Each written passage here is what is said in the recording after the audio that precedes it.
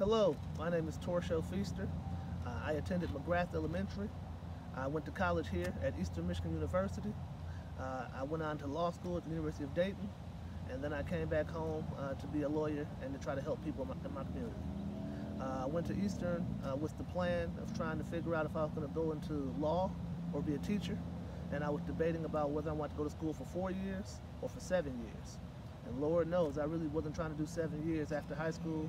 I was trying to get into the work field, make some money, and have some fun. I was tired of school, but I said, let me go ahead and try. I didn't know very many lawyers before I went to law school, uh, so I, I, thought it was uh, a challenging goal. I, I wasn't sure I was going to make it, but I said, I'm going to do my best, put everything I could into it, and it worked out for me.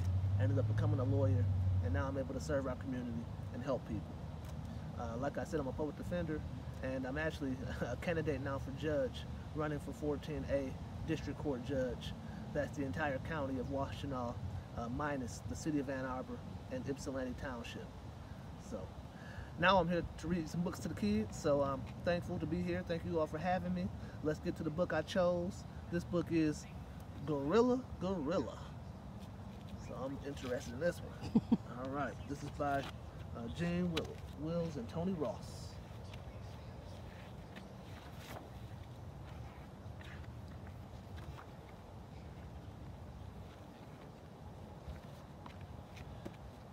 A mother mouse's baby has gone missing. She went up to the mountain. She went up the mountain, down the mountain,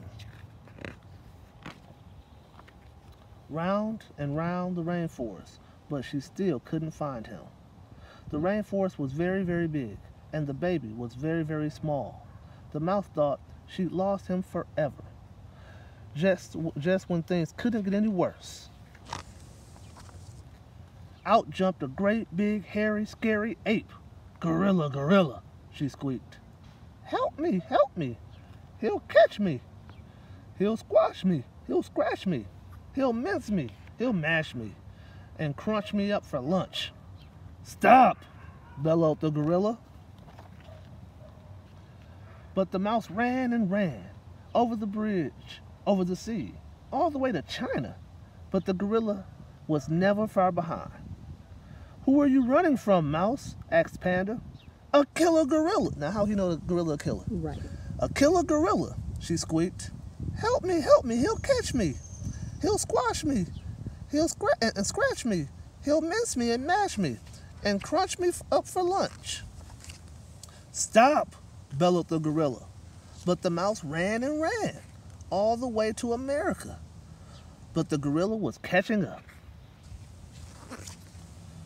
Who are you running from, Mouse? asked Chipmunk. A killer gorilla, she squeaked. Help me, help me. He'll catch me, he'll squash me and scratch me. He'll mince me and mash me and crunch me up for lunch. Stop, bellowed the gorilla. But the, but the mouse ran and ran into a submarine under the sea, all the way to Australia. The gorilla had almost caught up. Who are you, who are you running from, Mouse? Asked Koala. A killer gorilla, she squeaked. Help me, help me. He'll catch me. He'll squash me and scratch me and mince me and mash me and crunch me up for lunch. Stop, bellowed the gorilla. But the mouse ran and ran across the desert, into the submarine, under the, uh, under the sea, across the ice, all the way to, to the Arctic. She looked around. She was all alone, except for Stop! he bellowed. The mouse tried to run, but she was too tired. The snow was so thick, and she'd run such a long way. The gorilla came closer and closer and closer. The mouse stood still. She shivered and shut her eyes. She wished she could see her babies, her baby once more before she was eaten. Here he is, said the gorilla. Cradled, cradled in his huge hand was the baby mouse. I found him in the forest, said the gorilla. I was trying to give him back, but you wouldn't stop. Who are you running from, mouse? Shame. The mouse looked into his kind brown eyes and blushed. Oh, nobody you know. Come on, she squeaked. I'm not frightened now. Even so, it's a big scary world out there, said Gorilla. Let me carry you home. You'll feel much safer. And the mouse did. That's a shame. The mouse obviously had some uh, preconceived notions of what gorillas were and what this gorilla was going to do to him just because he looked different or was big and hairy and scary.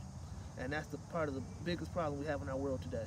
Is that too many people are prejudging people based on what they what they see on TV, what they hear in rap music, what they hear where, wherever.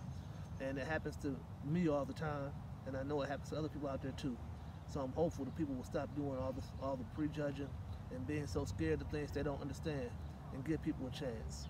And so that's why I picked this book. And uh, I'm also an alpha, so Gorilla kind of went with that too. So I, I'm thankful y'all let me read this book to y'all today.